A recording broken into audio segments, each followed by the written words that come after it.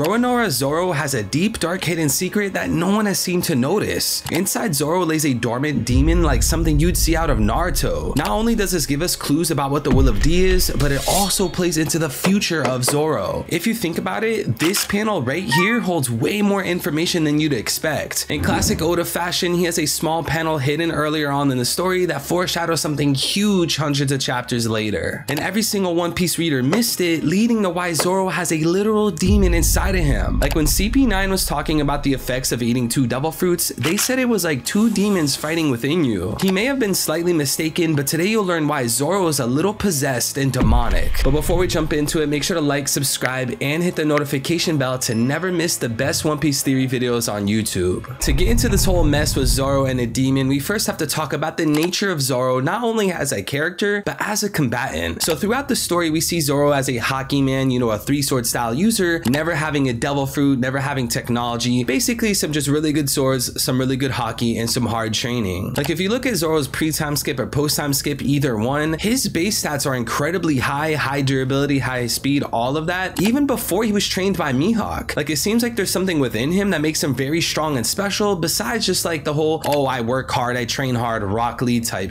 Now, I do think Mihawk is going to be a special key within Zoro where he has something laying dormant within him that Mihawk recognizes and helps bring the best of. Now, when we're talking about Zoro's whole arsenal and him as a combatant, there's one key thing we cannot forget about.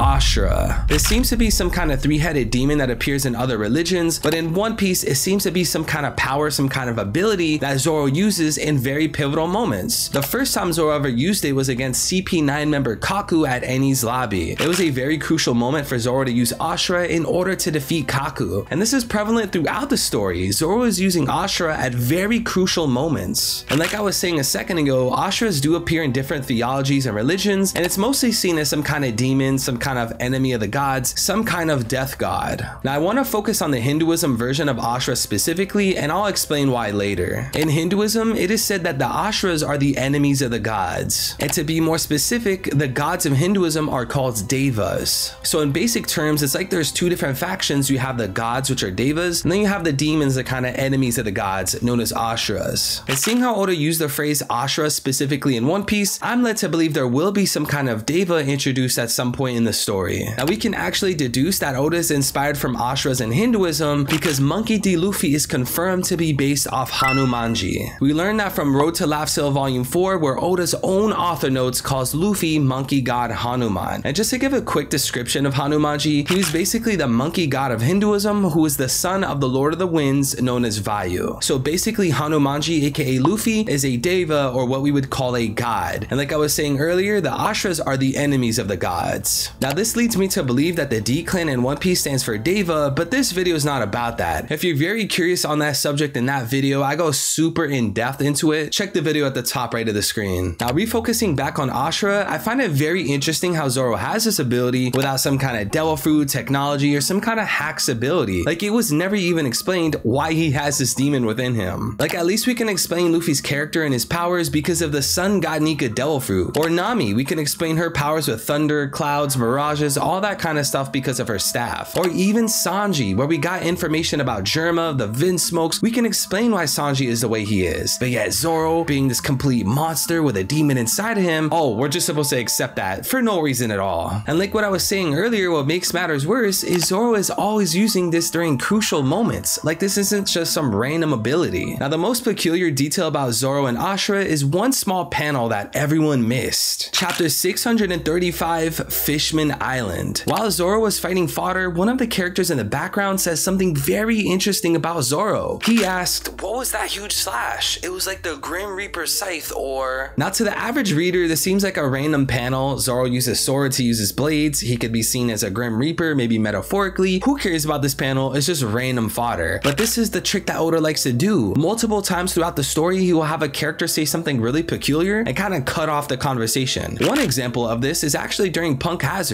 At the beginning of the arc, we had no idea that half the island was frozen and we thought it was completely filled with fire and magma. And that was when Nami says, oh, I think I see some frozen clouds. I see some cold clouds on the other side. Then the conversation gets cut off and we go back to the island. It's classic Oda pattern that I've caught on to and probably a lot of other people as well. So when this random fishman says that he sees a Grim Reaper with a scythe, it does not leave my radar. Especially when we consider something that happens later on in the story. Quick little shout out to my Discord server, discord.gg slash 333VIL, where I'm always posting hot takes, fresh new theories, and sneak peeks to videos. If you're too lazy to type in this very easy URL, there's a link in the description. Join today. Chapter 1038, Wano Kuni. Zoro was just about finished with his long drawn out fight with King, the last Lunarian, when he then stumbles across what is possibly the most puzzling panel of Onigashima, a literal Grim Reaper with a scythe drawn in the air. Now, seeing how this is the same exact depiction as what the fishman said earlier in the story, I believe these two different items are connected. Item number one is the dialogue from the fishman, and item number two is the vision Zoro had. If we closely analyze item number one, we could see it was some type of an attack from Zoro. Given the whole context of the conversation, especially since he was just fighting during that page, during that chapter, it seems like this was something innately with Zoro. Now, the key thing here is at this time in the story during Fishman Island, Zoro did not yet have Enma. That happened during much later in the story during chapter 953. So we can deduce that this Grim Reaper with a scythe must be something within Zoro and not something with swords. Especially when you consider how Ashura is like a three-headed demon that gives Zoro three different heads, it seems like there's something within Zoro, not some type of devil fruit or some kind of special hacks ability in one of his swords. And now this is where we introduce item number three,